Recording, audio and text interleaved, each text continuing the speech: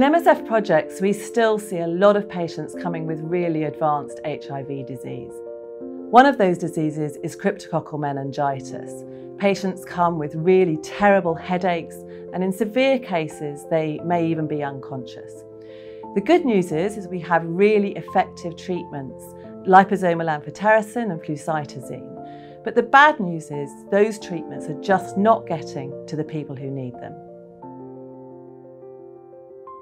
So at the MSF Access campaign, we're putting pressure on the pharmaceutical company Gilead, who makes liposomal amphotericin, to reduce the price.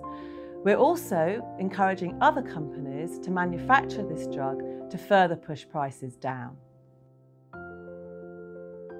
What we want to see is all countries providing the most effective treatment for cryptococcal meningitis and to really reduce the number of deaths from this major killer of people living with HIV.